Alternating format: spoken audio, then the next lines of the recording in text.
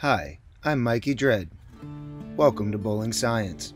Today, we're going to talk about how to use surface on short, flat oil patterns like you see in many professional and high-level amateur tournaments. Before we get started, I want to take some time to talk about our sponsor today. It's me! Today's sponsor is the Teespring store for Bowling Science, found at teespring.com slash stores slash bowling hyphen science. There, you'll see these awesome Got Surface shirts that go along with your Scotch-Brite pads.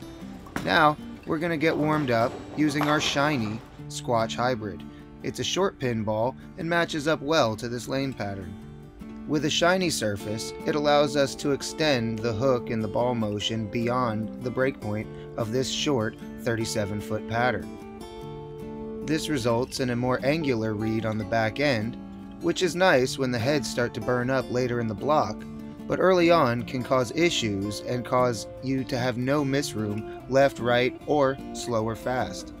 With this surface preparation, it was quite easy to go through the nose or wash out. Now, we're going to hit this ball with a gray pad that's going to give us an effective grit of about a thousand. I apply enough pressure to create dust and make sure that I cover the entire surface of the ball. What you'll see here in its motion is not that the ball hooks much more, but that it hooks earlier and smoother. We're going to be able to create a much more predictable shape using a short pin ball with this surface preparation as opposed to the shiny that we started with. This ball starts to lay down a little bit sooner, maybe three or four feet earlier than the previous, and gives us a smoother, more forward roll in through the pins and off the breakpoint. You'll also notice that the ball drives through the pins a little bit better with less deflection. But what about hook? On the house pattern, surface made our ball hook more immediately. Let's take a look at the overlay. My feet were maybe a half board difference between the gray pad surface and the shiny preparation. It's difficult to see when the ball starts to lay down with these balls overlapped, but what is clear to see is that by adding surface to our shiny ball and bringing it to a surface of about 1000 grit, we were able to play the lane in a smoother fashion, more predictably, without increasing hook. What's going to happen when we go to the next stage of surface? Here's our green pad. With this pad, we're able to achieve effective grits near 600. I'm going to make sure that I cover the ball again, and let's see how our reaction changed this time.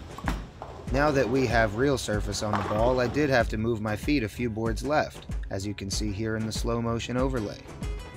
As I moved left, I also was able to keep the same break point, but allow the ball to lay down even sooner, giving me an even more smooth and predictable break point. When bowling tournaments on short oil, you often have to combat players using urethane and creating more carry down in this part of the lane.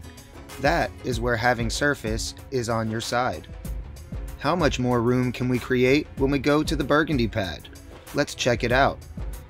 Here is our effective 320 grit pad, the burgundy pad. This one really kicks up some dust, make sure you wipe your ball down before hitting the lane. This surface forced me another two or three boards further left with my feet and had me play further left through the front of the lane, crossing the arrows but I was still able to get to the same optimal breakpoint near the 5 board and hit the pocket with probably my strongest reaction. All of these comparisons so far have been in comparison to the shiny preparation of this short pin squatch. But now we're going to compare three different shots thrown from the same place on the lane with that burgundy 320 grit surface. Throughout all of filming, this pattern was quite finicky at the breakpoint, but as soon as I hit it with a burgundy pad, I created room. This here is three shots. Yes, I was standing in the same place, but I hit three different parts of the lane and used three different breakpoints. All three of these shots struck, and I was able to create five to six boards of room in the mid lane.